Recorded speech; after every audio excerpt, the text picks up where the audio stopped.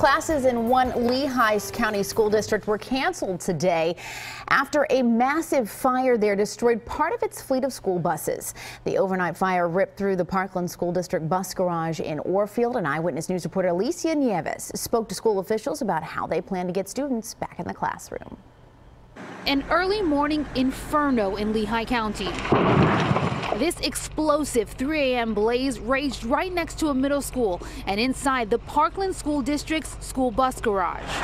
The explosions that everybody's reporting was the tires that were popping off the buses uh, as the fire was going on. 16 newly purchased buses and the garage itself were burnt to the ground. Another dozen or so buses parked outside the garage were also damaged. Authorities say from either debris flying during the fire or the heat given off by these flames. We lost some windshields, some mirrors, uh, headlights. Despite roughly $2 million in damages and 25% of the district's fleet destroyed, no one was hurt. I looked at my phone and it said that uh, no school due to a fire here. School, though, for Brock Loreto and thousands of students in the district had to be canceled today. The district is working to get borrowed buses by Monday. Many of our surrounding school districts and neighboring school districts have offered us surplus buses that they may have. We feel pretty good that uh, we'll have school Monday. I'm pretty optimistic. There is no official cause for the fire that raged here. We are told it could take days to find that cause,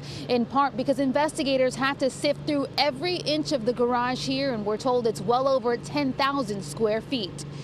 In Lehigh County, Alicia Nieves, CBS 3 Eyewitness News.